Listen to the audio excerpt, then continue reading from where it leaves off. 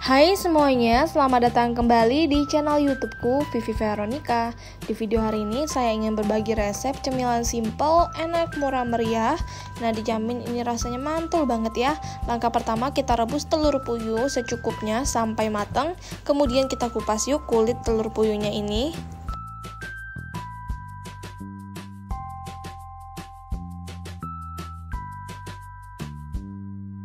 Langkah berikutnya, kita sisihkan, kemudian siapkan daun bawang secukupnya.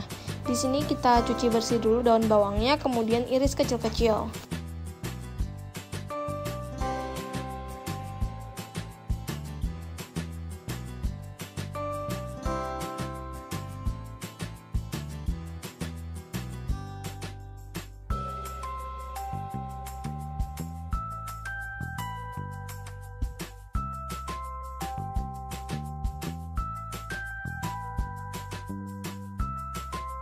Setelah sudah kita iris kecil-kecil, langsung aja kita siapkan 3 batang sosis ayam.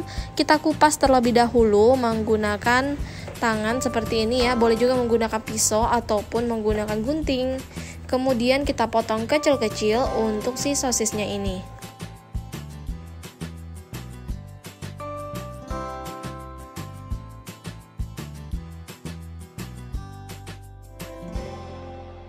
Kita potong dadu ya teman-teman.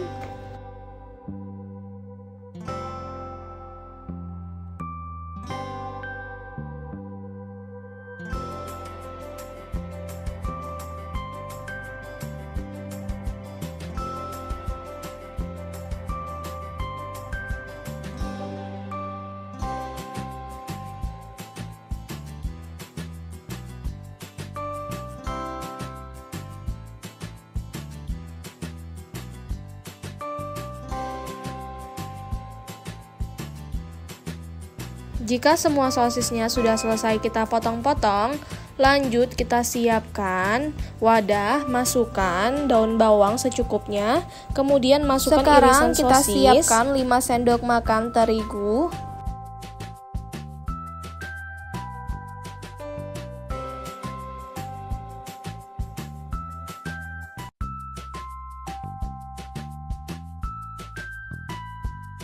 kaldu ayam bubuk secukupnya. Nah, lanjut kita juga masukkan secukupnya garam agar rasanya lebih gurih. Lada putih atau merica bubuk secukupnya.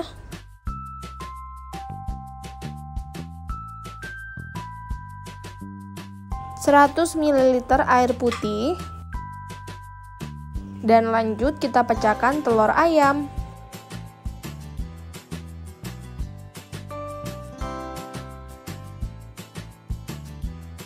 Untuk telur ayamnya ini, kita langsung pecahkan satu butir aja.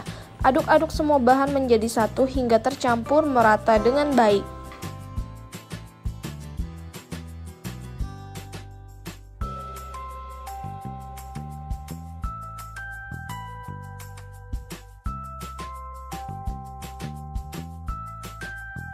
Jika sudah tercampur merata, lanjut diaduk-aduk seperti ini. Jika sudah tercampur merata, ini langsung aja kita siapkan kulit pangsit lembaran yang kita beli di pasar.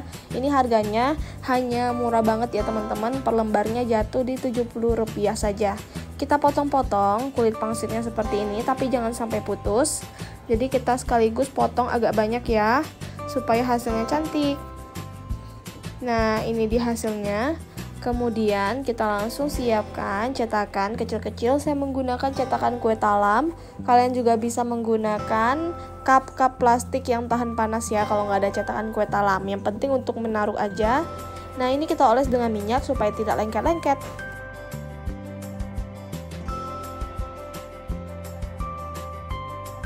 Lanjut kita tata si kulit pangsitnya ini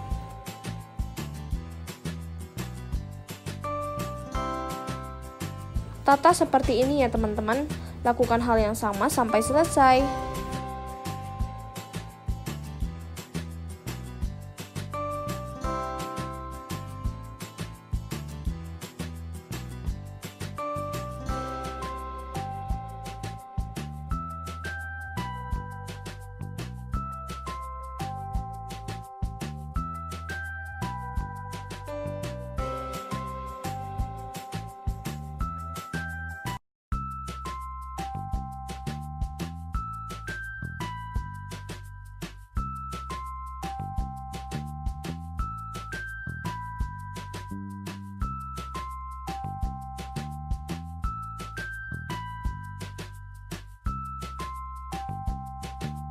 Isi dengan adonan yang udah kita buat tadi. Nah, isi sampai penuh atau 3 per 4 ya.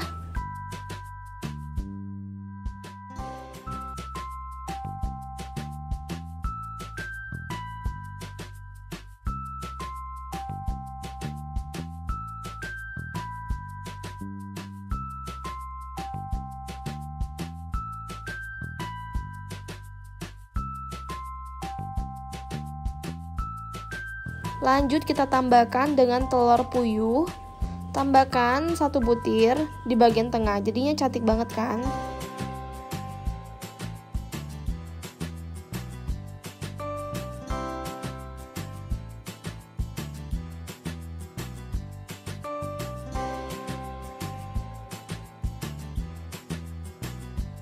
Ini langsung aja kita masukkan ke dalam pengukus yang udah dipanaskan sebelumnya.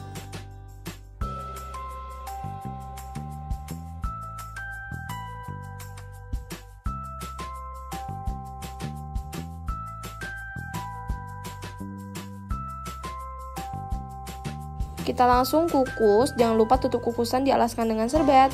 Kukus sampai matang. Wow, ini hasilnya wangi banget. Ini langsung aja kita keluarkan ya dari cetakannya.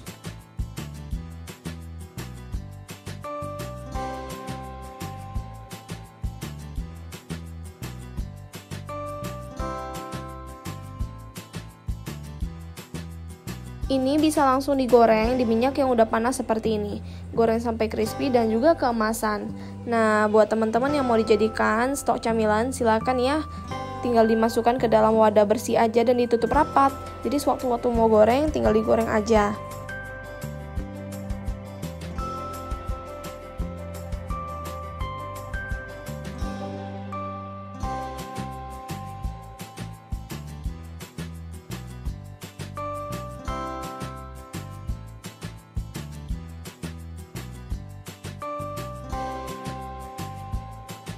Nah, ini dia hasilnya setelah sudah kita angkat dan setelah sudah matang.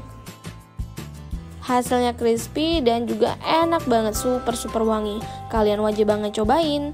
Terima kasih sudah menonton video YouTube dari channel YouTubeku. Sampai jumpa kembali. Semoga kalian suka ya dan semoga video ini bermanfaat untuk kita semuanya.